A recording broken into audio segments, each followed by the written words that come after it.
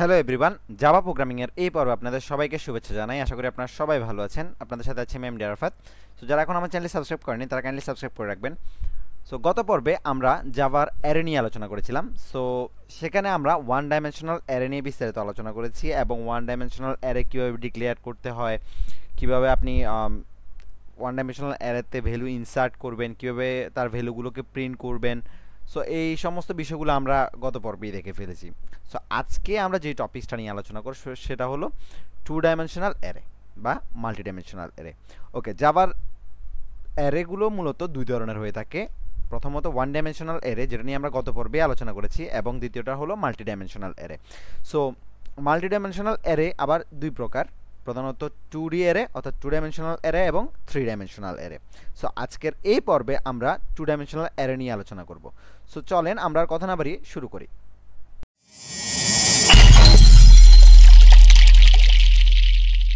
So সর্বপ্রথম আমরা জেনে নিই যে টু ডাইমেনশনাল অ্যারে আসলে বিষয়টা কি। ঠিক আছে?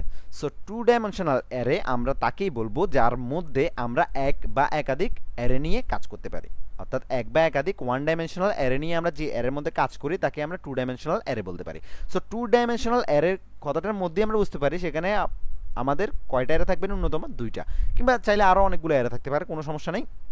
সো যখন আমরা এক বা একাধিক অ্যারে নিয়ে কাজ করব সো তাকে আমরা চাইলে আলাদা আলাদা ওয়ান ডাইমেনশনাল অ্যারে তৈরি করার পরিবর্তে টু ডাইমেনশনাল অ্যারে তৈরি করেও কিন্তু কাজটা করতে পারি। ঠিক আছে? কিন্তু খেয়াল রাখবেন যেন এই অ্যারেগুলো সামঞ্জস্যপূর্ণ হয়। অর্থাৎ রিলেটেড টাইপের হয়, ঠিক আছে?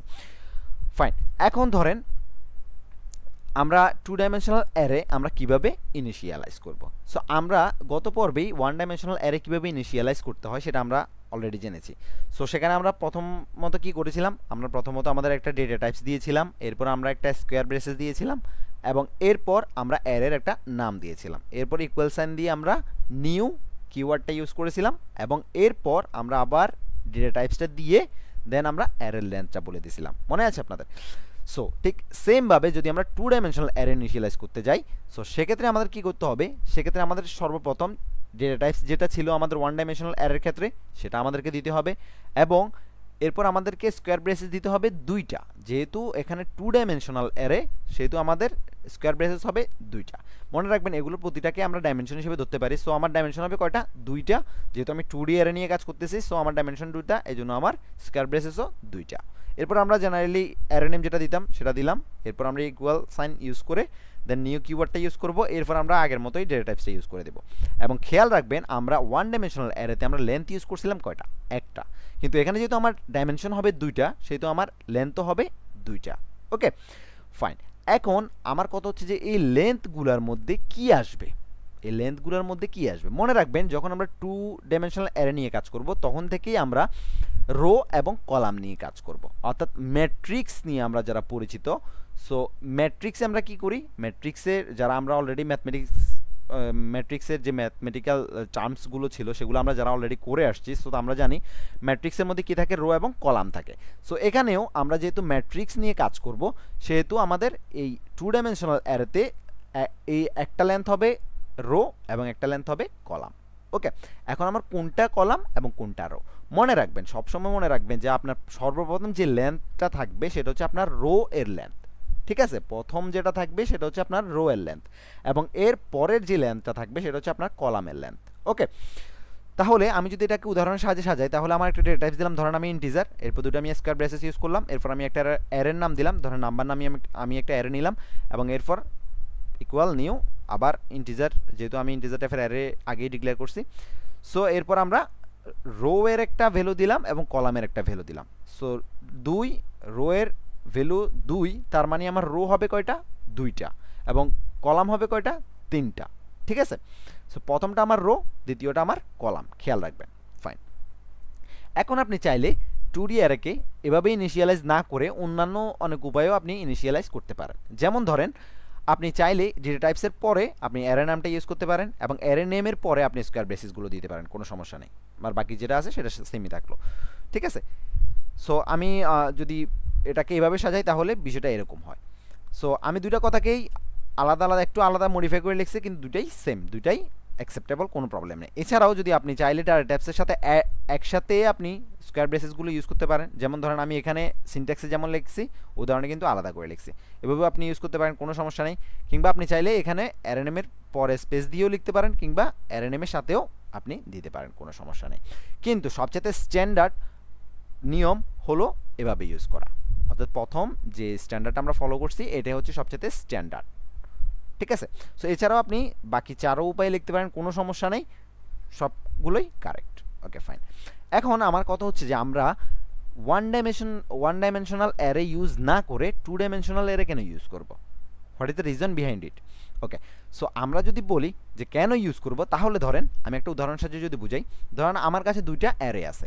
দুইটা অ্যারে আছে, একটা হচ্ছে আমার পাবলিক ট্রান্সপোর্ট একটা হচ্ছে আমার প্রাইভেট ট্রান্সপোর্ট ওকে সো আমি দুইটা অ্যারে প্রথম, সর্বপ্রথম আমি ডিক্লেয়ার করি, ঠিক আছে? প্রথম আমি ধরেন প্রাইভেট ট্রান্সপোর্ট নামে প্রাইভেট ট্রান্স নামে আমি কি করলাম? একটা ওয়ান ডাইমেনশনাল অ্যারে ডিক্লেয়ার করলাম।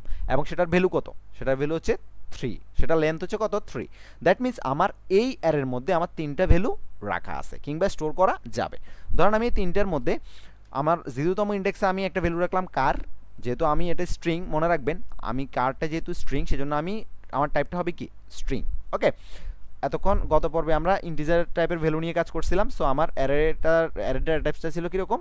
ইন্টিজার সো এই, এখানে আমরা যেহেতু কার ওয়ার্ড ইউজ করতেছি সো এটা কি? এটা হচ্ছে স্ট্রিং টাইপের একটা অ্যারে সেজন্য আমি এটা এটা দিলাম স্ট্রিং ওকে সো আমি কি করলাম?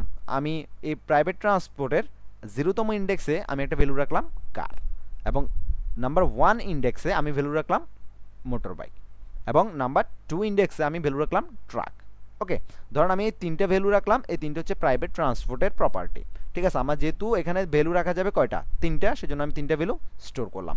একটা জিরোতম ইন্ডেক্সে একটা ওয়ানতম ইন্ডেক্সে একটা টুতম ইন্ডেক্সে যেহেতু আমার লেন্থ থ্রি সেহেতু আমার জিরো থেকে শুরু হয়ে টু পর্যন্ত। ওকে তাহলে এটা একটা আমার ওয়ান ডাইমেনশনাল এরে গেলো এবং আমার কাছে আরও একটা ওয়ান ডাইমেনশনাল এরে আছে ধরেন, সেটা হচ্ছে পাবলিক ট্রান্সপোর্ট নামে এবং সেটার ভ্যালু এক্স্যাক্টলি সেম থ্রি তাহলে আমার প্রাইভেট ট্রান্সপোর্টের লেন্থও থ্রি পাবলিক ট্রান্সপোর্টের লেন্থও থ্রি দ্যাট মিনস আমার পাবলিক ট্রান্সপোর্টের মধ্যে তিনটা ভ্যালু আমি স্টোর করতে পারব। সো এটার জিরোতম ইন্ডেক্স আমি একটা ভ্যালু রাখলাম বাস এটার ওয়ানতম ইন্ডেক্স আমি ভ্যালু রাখলাম ট্রেন এবং টুতম ভ্যালু ইন্ডেক্সে ভ্যালু রাখলাম শিপ ঠিক আছে?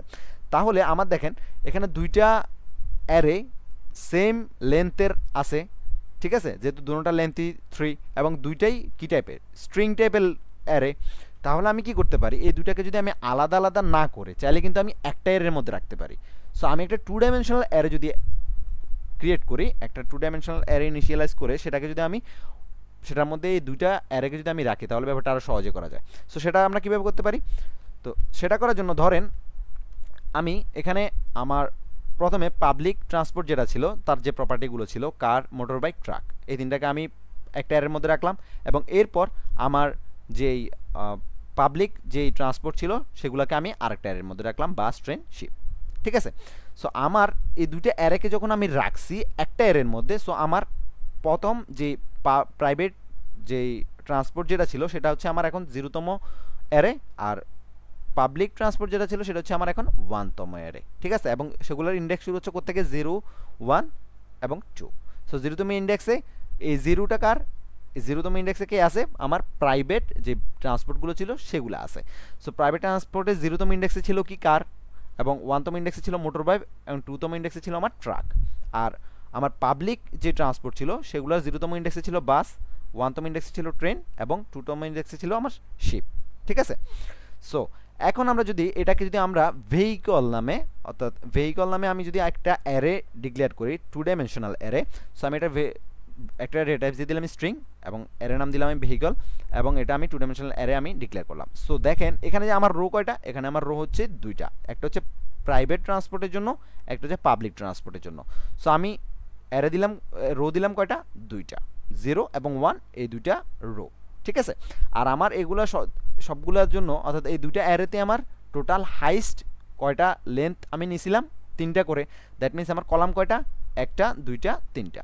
তাহলে আমার কলাম হচ্ছে তিনটা। আমার রো হচ্ছে দুইটা, কলাম হচ্ছে তিনটা। ঠিক আছে? তাহলে অ্যারের নাম হচ্ছে ভেহিকল এবং এটার রো হচ্ছে দুইটা, কলাম হচ্ছে তিনটা। ক্লিয়ার ফাইন এখন আমরা এটার মধ্যে আমরা ভ্যালু স্টোর করব কীভাবে? আমি তো অ্যারে তো তৈরি করলাম। দুইটা রো এবং তিনটা কলাম কলাম সহ আমি একটা টু ডাইমেনশনাল অ্যারে তৈরি করলাম ভেহিকল নামে। কিন্তু এটার মধ্যে আমি ভ্যালু ইনসেট কীভাবে করব? এটার মধ্যে খুব সহজে আমরা ভ্যালু ইনসেট করতে পারি। কীভাবে? ধরেন আমার এই ভেহিকল যে অ্যারেটা আছে সো এই টু ডাইমেনশনাল অ্যারের জিরো জিরো জিরো ইন্ডেক্স আমি রাখলাম কার? জিরো জিরো কি? আমার প্রাইভেট যেই ভেহিকলগুলো ছিল প্রাইভেট যে ট্রান্সপোর্টগুলো ছিল, সেগুলোর এখন ইন্ডেক্স নাম্বার কত?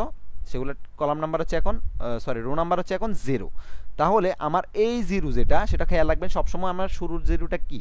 রো নাম্বার সো এই এই জিরোটা কার?